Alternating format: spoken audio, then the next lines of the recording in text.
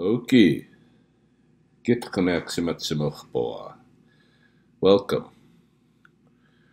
We're going to look at a series of slides that I put together almost a decade ago that describe and visualize some of the things that I have typically observed or paid attention to during the lunar cycle Awakat Sikism, the deer moon. This is when all of the ungulates go into their rut. And even though some might tra- translate Awakatsi as deer, um, it, it actually is describing those ungulates in, in general, including white-tailed deer, mule deer, antelope, moose, elk. Um, I don't think you'd count E knee in a Blackfoot sense, the bison under this category, but all of those other ungulates. Any case, um, let's get into it and we'll see how much has changed in the last decade. This is Spopikimi, where I do most of my nature studies, or have for the past, you know, 20 years or so. Little oxbow off of the Oldman River on the downstream end of Sikuhkutuk, Lethbridge, Alberta. Uh, this place has been levied in to create a kind of wetlands, as you see here. Uh, this year, although the foliage looked still much like this going into the lunar cycle, the water does not. It's very low this year. And uh, I've seen years when it's very high, years when, when it's very low. This year and last year, the lowest that I've ever seen it. Um, but the picture shows what it looked like almost a decade ago. And uh, the foliage, the kind of the, the coloration that you see here, is what I associate with this this going into this lunar cycle, the kind of the, the lay of the landscape and the look of it, you know. A lot of animals are still up and around, including the cold-blooded. Spoke B, the painted turtle here. You can see basking. Um, you can routinely see these basking even uh, as it gets fairly cold at Spopikimi. This is the animal that I kind of gave the name, my name, to this place after the Turtle Waters. But they'll still be up and around. Soon, though, soon, though, they'll be going under under the mud. Once the ice is over, they're under. And the young of this year that should have hatched even a whole lunar cycle ago uh, will remain in their underground nests where the eggs were laid up on shore uh, through the winter. Those that haven't been predated this year, uh, something's gone through, probably a skunk or a raccoon, and dug up a lot of the nests. But always some survive. Any case, the cold-blooded are still up and about the leaves going into the lunar cycle are beginning to turn. You're seeing a little bit of golden color here and there, typically. This year, the, the, the moon came in a little bit late because we're having a 13 moon uh, cycle. And this is always the last lunar cycle of summer. And so things in the trees had changed a little bit more golden, but um, not a lot compared to this photo of 10 years ago. You can see golden patches on the wet meadows there. What do you think those are? Pause the video if you'd like. Enoxopis, the dog bane, the little rope, Indian hemp. This is one of these kind of plants that in certain seasons at least you should be able to identify at a, at a fair distance. Inoxopis, the dog bane. It's got red skin and these trident uh, kind of what would they call it? Opposite uh, branching. But I, I kind of see it look like a trident with red skin. And as this dries up when we get more into midwinter um, these will be harvested for their fibers so they're turning gold there's still some flowering going on if you're in the right places uh, this would be uh, Amaxikimi, like red tea in Blackfoot, which is common tick seed. Amaxikimi. Sorry, my uh, writing doesn't seem to be fitting into the uh, QuickTime video capture here, it's called Amaxikimi, red tea or common tick seed in English and it grows in clay places. And this is one of the medicinal plants um, in the Blackfoot world. It's a uh, something that's used as a as a general tonic for your system when you're feeling bad, but it's also mixed with a lot of specialized medicines. You'll also bump into Otskapis, Otskapistiskitsi, Otskapistiskitsi, siskitsi, the, the blue flower, Otscapis siskitsi, the showy aster, still blooming, although coming to its end in the uh, river bottoms. You'll see the western clematis remaining in seed at this point. Um, leaves will start turning and drying among the berries, Meeksinitsim are heavy on the branches in other years. This particular year at uh, the city did something, I believe. Some kind of um, insecticide must have been utilized because the insects were very few and therefore um, the birds were affected and those birds that could rely on berries as well as um, proteins were harvesting all the berries that existed. And so, uh, except for going outside of the city, I'm not going to get any of these berries this year. But until a frost, it's not time to harvest them anyway. So I leave them be. You may get the first frosts during this lunar cycle, and uh, if you can hold on to the end of this branch and just tap the branch and berries fall, then it's it's ready to go. Uh, but I'll explain harvesting of this in the next lunar cycle. Here's the roundleaf hawthorn, a plant that in Blackfoot is probably called guinea, the same as the rose are various roses. And indeed, it is basically a rose hip um, of sorts. But hawthorn is known especially to be helpful medicinally for the cardiovascular system. And so, my understanding is that it can um, thicken the walls of veins and arteries um, while not narrowing them, but making them uh, less susceptible uh, to to breakage. Um, at the same time, there's there's a widening effect that goes on, um, allowing more blood to flow.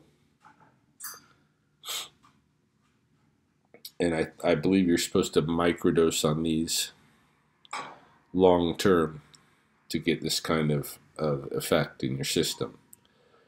I would have loved to have collect a whole year's worth of these berries this year uh, from the patches that I know here in Sikokkotot, but again, because of the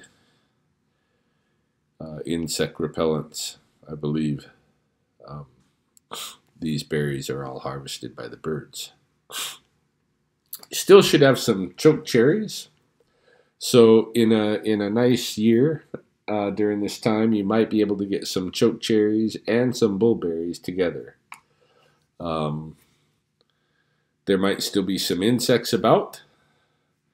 Here's a pink edged sulfur, one of our butterflies, and they'll be still mating this time of year in this lunar cycle. I see a lot of um, I see a lot of butterfly larvae crossing the trails looking for places where they're going to hibernate from winter. Uh, at the warmer beginning of the sea of the lunar cycle, you'll still have some of the uh, grigs and some of the dragonflies about. So this is a paddle-tailed darner pretty much the largest dragonfly in my area. Sphinx or Sphex thread-waisted wasp. Um, one of the one of the wasps that'll still be visiting flowers, and it's visiting the tufted white prairie aster, by the way. Another uh, late insect that's that's contributing to the pollination of this flower is the drone fly. You know, everybody thinks just bees. Oh, if we lose, if we lose the the European honeybee, we're in trouble. Well, there was a lot going on here before the European honeybee. Um, you know. But anyway, drone flies, and these guys are going to hibernate. If you watch my winter lectures in phenology, you'll you'll see where and how they do it. Um, back to flowers again. We got the tufted white prairie aster. Uh, you're going to see red guinea, the rose hips that I was just talking about, and we have three species of rose in addition to the hawthorn. So uh, the most common at my site is the prickly rose. Uh, but this one happens to be the prairie rose, which is a low growing species. And there's also the Canada rose. In season for harvest this time of year is Otstotsimon, the ball cactus berry. And in fact, just tomorrow morning, I'm planning to do a little walk and talk with a couple of my uh, students. I do walk and talks every Sunday morning in Lethbridge, by the way. Uh, you're welcome to join one if you'd like to. Uh, a financial donation is expected. Uh, most of my students pay about $20 per walk, and the walk goes an hour and a half to two hours. Most of the times we're at Elizabeth Hall Wetlands. In the winters, we meet at 8 o'clock in the morning. In the summers, we meet at 7.30 in the morning. Um, but tomorrow we're meeting at a different location. Tomorrow's Sunday morning for me, and I'm meeting at a different location to go harvest this Otstotsimon, the ball cactus, which has a berry um, that's kind of like, uh, in my opinion, it's like a, a cross between a fig and a grape. It's full of tiny little seeds, um, but it's got a sweet taste and a kind of a grape like skin on it. And when it's ripe, you don't even have to pull it. You just touch it with your finger and it'll fall out of the cactus. My uh, harvest ethics for this plant, for most plants, but uh, I'll just tell you for this one, for now, is that I don't pick any berries from the first cactus that I come across. If I, find, if I come across cactus with berries, I just let it pass. When I come to a second plant that has berries, I'll harvest up to half of its berries. No more than half. And I'll leave it. If I come to a plant that has been being harvested by some other being, human or otherwise, or what have you, I won't touch it. I'll leave it alone. I'll consider that their plant. So that's basically my ethics, and I think it works out. Doesn't seem like a lot of other animals are interested in Otsutatsuman, though. However, the rodents really like Otakotsis, the, prickly pear. And they seem to, they like the seeds in particular. So they work these fruits off, and I start finding these fruits during this lunar cycle and on into the first couple of cycles of winter. I'll find these prickly pear fruits pulled off the cacti, opened up, spread, seeds spread out, and some of them, you know, gnawed on by the rodents. This is the appearance of Achso, the wild licorice during this lunar cycle. It's got its orange tinged burrs with seeds encased, which the field mice and shrews and such are going to become keenly interested in in the moons to come. Watch for that harvest. You're also going to see a lot of animals interested in the sunflowers. Nato sapistiskitsi. To me, this word is literally sunflower and is a transliteration of the English. I don't know what the original Blackfoot word was, whether it was this or something else, but this is the contemporary word used, not only for the prairie sunflower, but for the rhombic leaved sunflower, which is our other indigenous species in my area, and really any sunflower. Nato sapistiskits is the literal translation or transliteration. In my harvest experience, if you want to try to get some of the protein out of these flowers, what you do is you clip the stem a ways off from the seed head and you gather a, a bundle, you know, maybe 20 flower heads together in a small brown paper bag, tie them up, and let the seeds dry out in rain. You just have to tap or rattle the bag to really get them loose. If you want to go for a larger harvest, I've even like cut off a bunch of the heads and just put a whole bunch of heads in a brown paper bag together and let them dry out and then shake them all up and then extract the heads and what you get is a mixture of seed and a little bit of husk material, like paperish husk material. The seed, the seed itself is encased in a hard husk, which you're not going to get rid of in these local flowers. You just got to eat them for the roughage and all. Um, it's not like spits. but if you have larger garden flowers, you know, they're still not Natosapishitsi. This is the season when you can start really um, cutting them off, drying them off, harvesting them.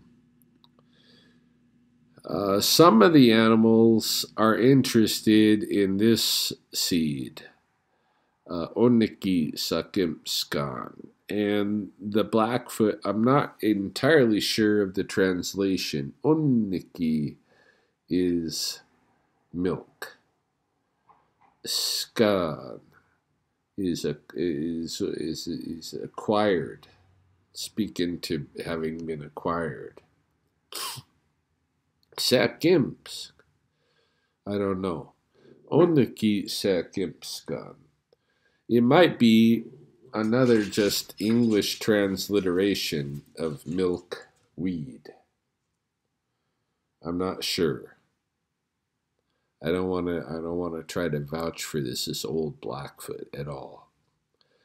But it is the current use Blackfoot for showy milkweed, whose seed pods uh, open up like like the the plant from uh, what do you call it? Feed me Seymour. Uh, what do you call that?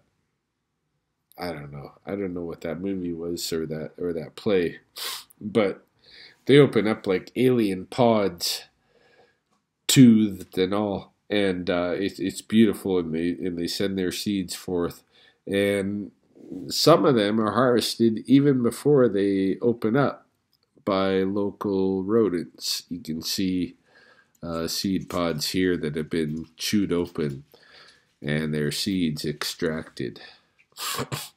um, this plant, of course, is crucial in my area for the northern oriole that uses the the hemp, the the fiber from this plant as the key ingredient in its nesting material.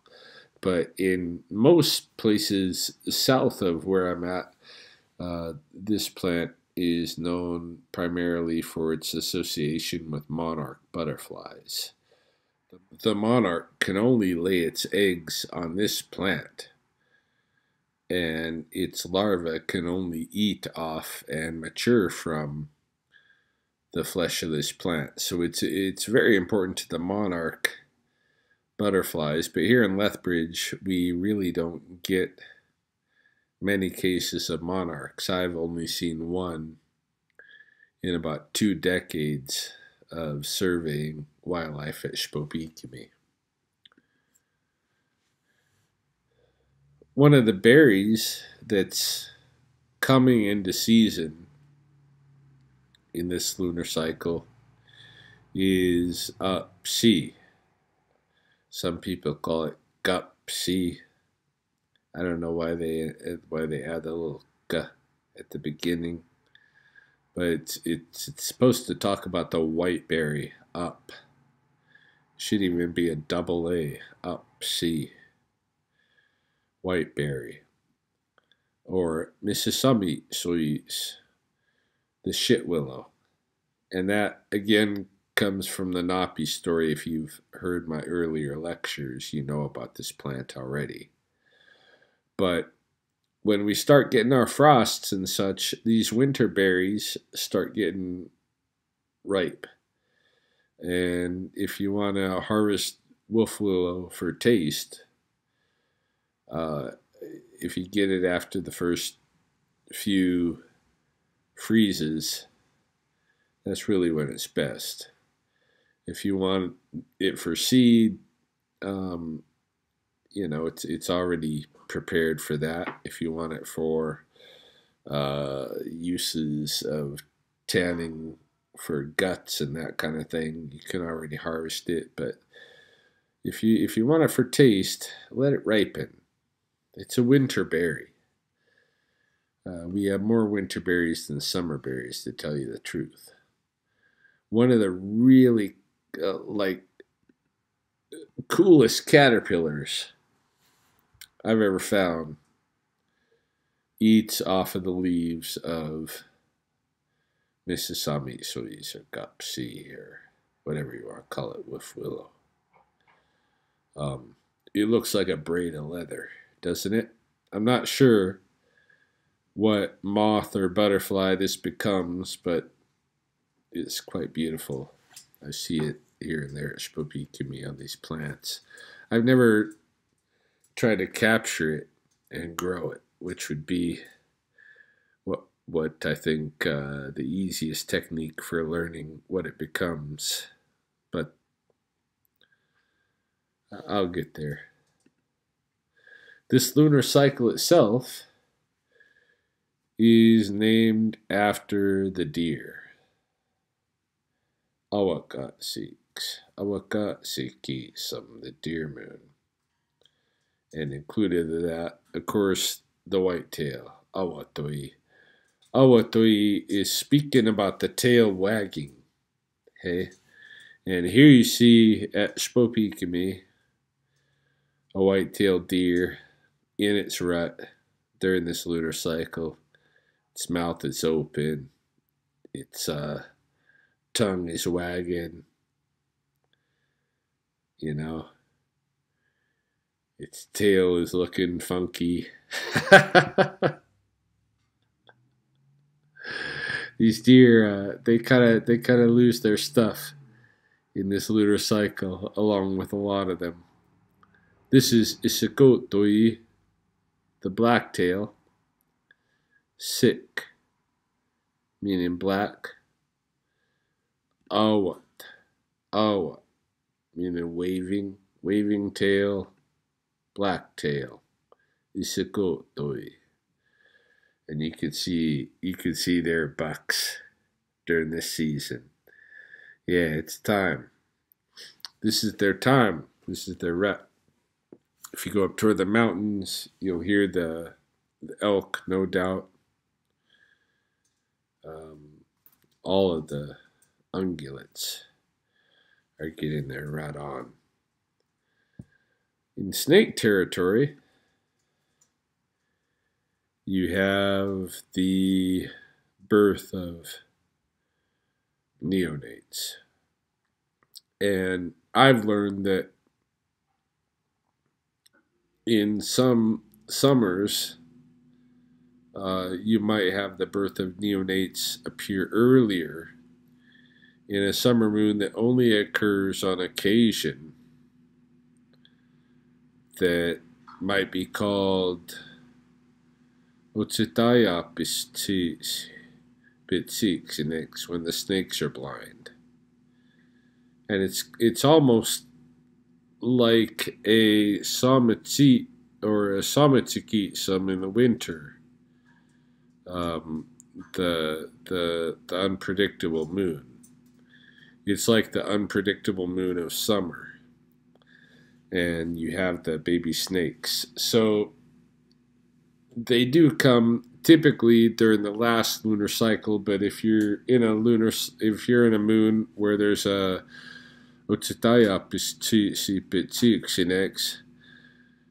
um, these snakes come in the lunar cycle that's earlier than this, the newborns. Anyway, here you see a uh, a wandering garter, newborn, neonate.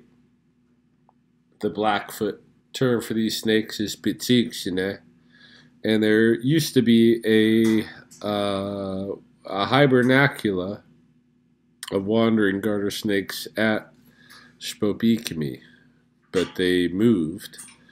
I did find their relocation uh, uh, place it's not too far upriver. We also have at Spopikami bits, uh, also Bitsixina.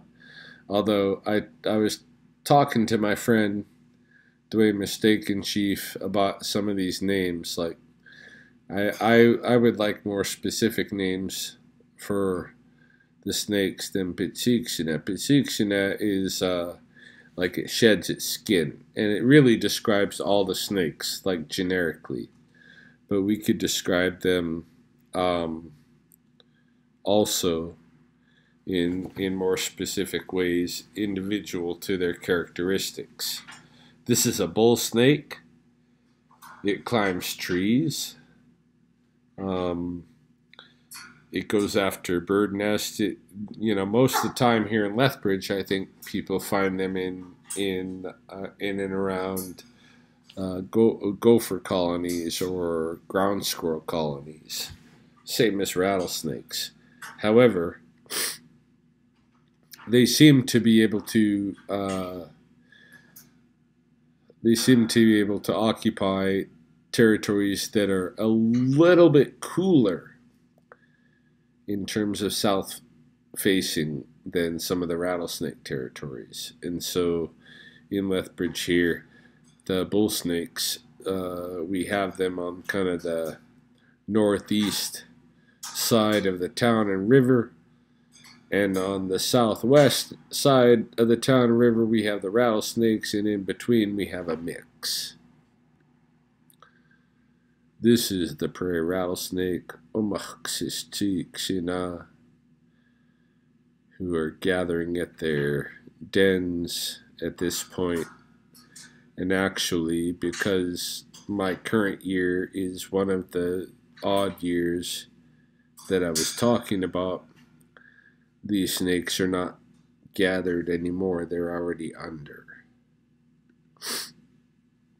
Here's a look at the uh, site that I used to center my kind of going into winter and winter phenology observations around. It's called Cottonwood Park, but in in you know in Lethbridge, but in the old ways, it's uh, Akenisko, the many death place. This is uh, the confluence of the rivers of the Oldman and the St. Mary's, where the original Fort Whoop-Up uh, occurred. And there's a lot of snakes here. And I originally started studying rattlesnakes. You know, this area is this area is rattlesnakes um, in this park.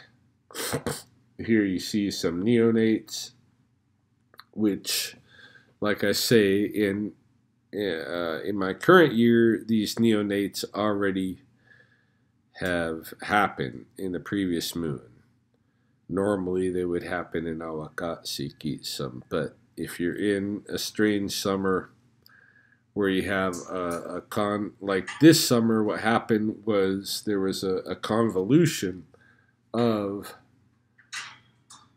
the phenology of Matsi Kapesaki, some the frog moon, and Apistishkit Santos, the flower moon, the things that I would expect to occur in each of those moons concurred in the first summer moon uh, truncating the summer in a way, but allowing for latter moons that don't normally occur, like Otsutaya snakes when these snakes are blind, when these babies are born. So, um, this is one of the the phenological occurrences that I'm learning can happen in earlier moons during odd summers, but normally occurs in the last summer moon.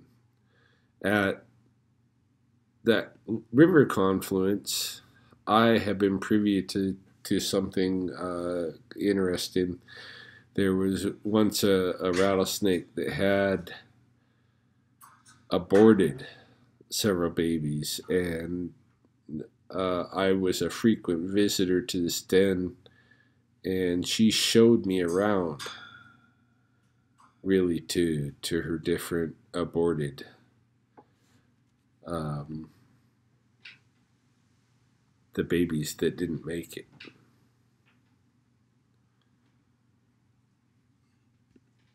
I've seen a lot of things happen at these dens, some of which I can make some sense of, and some of which I can't. You know, some of which are, are just left open questions. But one of the things that I've seen happen in multiple rattlesnake hibernacula is that Mati kapisa, the boreal chorus frog, and uh, perhaps other terrestrial amphibians, uh, maybe even um, ski, the tiger salamander, will winter with the snakes in the same hibernacula you wonder, aren't they in danger? Aren't they going to be eaten by snakes going in here? In fact, you know, I've seen rattlesnakes denning with garter snakes and boreal chorus frogs, the three species at the very least, all together.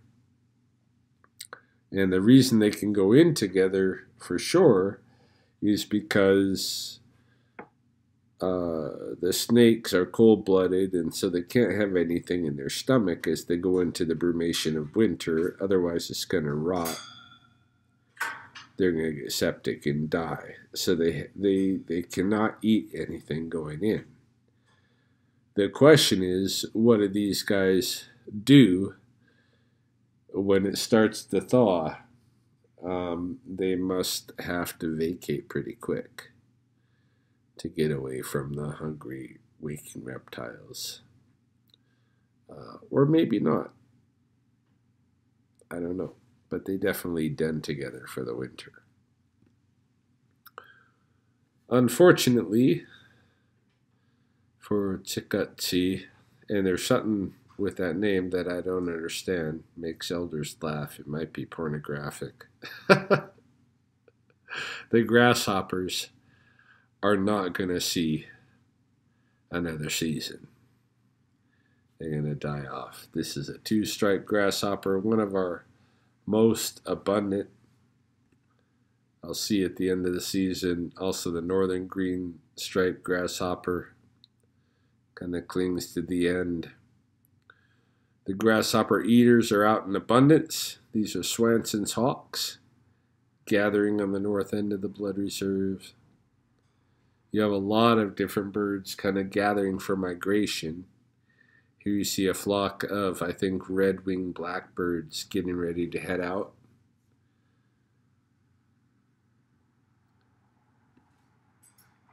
Some of the lakes near the city, you see congregations of birds beginning to come together.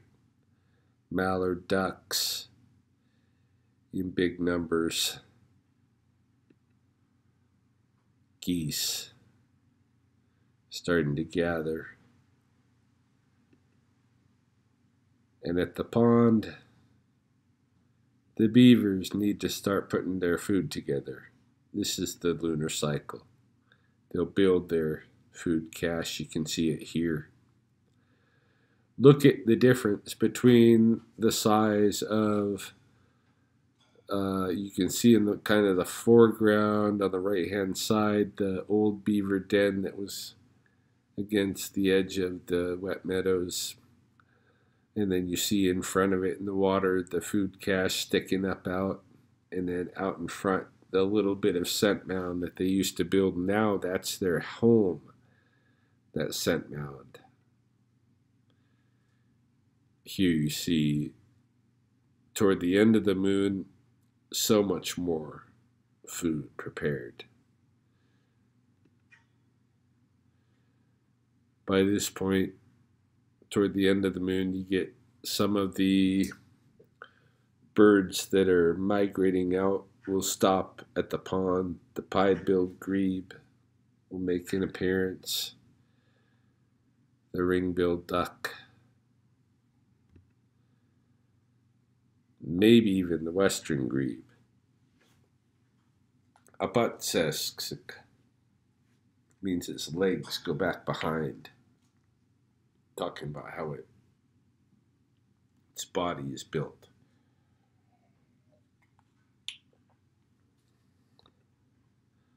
You've probably seen in my later videos, the waters of the wide South Pool are shallow this time of year.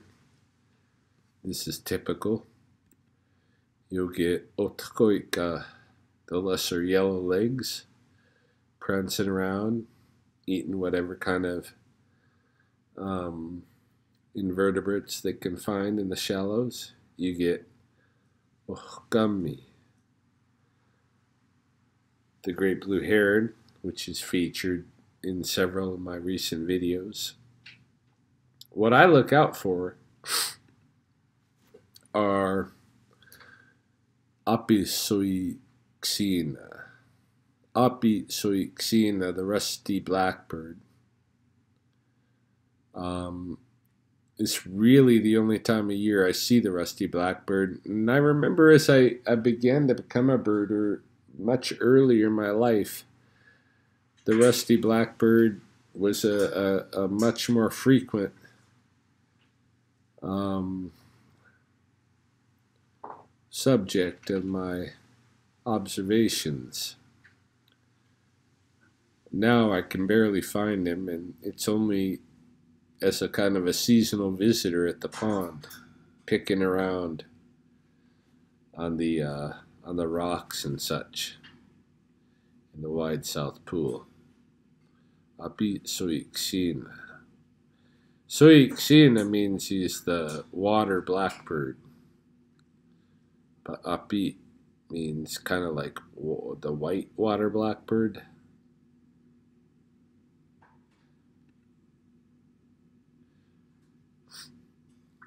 Toward the end of the moon, I expect some freeze. My pond is in the shadow of the coulees. It's, it's a place that freezes early. I expect ice on the water, and with that ice on the water, this is the, the yellow rumped warbler. Otuk, otko, otko is yellow. Otuk, busby. Like the yellow back. Otuk, otuk, busby. I mean, uh, it's, it's probably talking about his yellow, like, tail feathers. Otuk, busby. It almost sounds like a, like a, like a, like when you dance with a, with a with a what we call utkopaspi, utkopaspi. Uh, when you dance with a, uh, I can't remember the, the English word for it, but bustle, a bustle on your on your bum. Hey, utkopaspi, yellow rumped warbler. Shows up at the pond to eat some of the partially frozen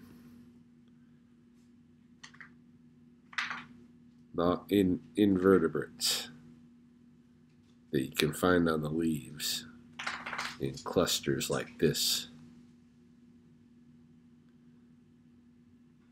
Yeah, I expect ice at the end of this, especially the current years, but in general, ice starts to form at my at my location. This is the last look at Xiskstucky before the ice seals them in for the winter.